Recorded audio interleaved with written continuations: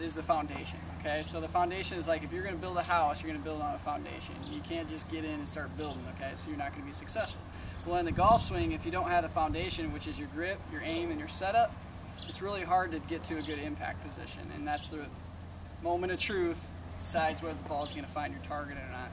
Okay, so when it comes to the grip, what I want you guys to do is grab, yeah, just go ahead and grab your club, and always start out with the toe of the club up to the sky. So I suggest you hold the club out with your, you're both right-handed, actually you're left-handed, okay? So you're going to do the opposite of what I tell you, okay? So you're going to start with your, your other hand. And so what I do is I hold the club out, and then I take my left hand, your right hand, and you're going to make a V between your thumb and index finger. What I suggest you do is point that V at your right shoulder. This is what I call a neutral grip. You're going to be able to see about one and a half knuckles. Another way to tell if you're gripping it correctly is you have the pad on your hand. Try to make that pad go just over the grip. And so the handle, the club, the grip should be in between your palms and your fingers. It shouldn't be just in your palms, it shouldn't be just in your fingers. If you do that correctly, you'll feel it. You should have a lot of control if you grip it correctly. What that'll help you do is get the club face square to your target so you'll be able to release it and control that club face. The main difference between golf and other activities like baseball and sports is we have a club face, okay? So we need to get that club face aiming toward our target. The next thing in gripping the club, take your right hand and you can create a V between your thumb, thumb and index finger and again you're going to point that a little bit more toward your right shoulder as well. Okay, they should fit as one unit. You don't want to have any separation.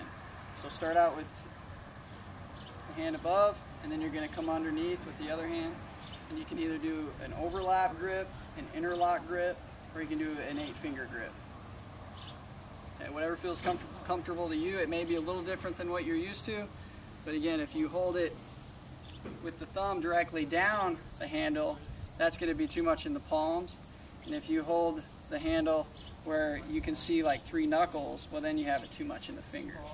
So what I like to teach right away is, is yeah, you want to see about one and a half knuckles.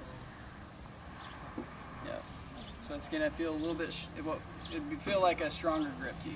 You're taking the hand over. All right, so that'll help you uh, to square up the club face because most of the, the clients that I have when they come to me right away is they have an open club face. What that does, that produces a left to right ball flight, a slice. In your case, it'd be a right to left.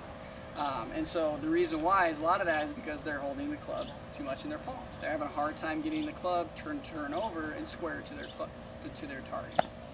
Okay, so the next thing is grip pressure. When it comes to grip pressure, I like to grip it not uh, too firm, but also not too weak. So what we want to do is we want to be in between. So on a scale from 1 to 10, 1 would be letting go of the club. Just hold it really lightly. Go ahead. So I should be almost to pull this club. There you go. Okay, 10 is maximum grip pressure. So 1, do 1. Hold it a little bit. Hold it light, light, light. Yeah, that's a 1. Okay, now go 10, maximum grip pressure, like as hard as you can. Yep. That's a 10. You want to go halfway, so go go a 5 in between those two. Okay, so you don't want to go more than a 6, but I wouldn't go less than a 5 either. Okay, this needs to be right in between there. So you have control. Okay, so it's all about control.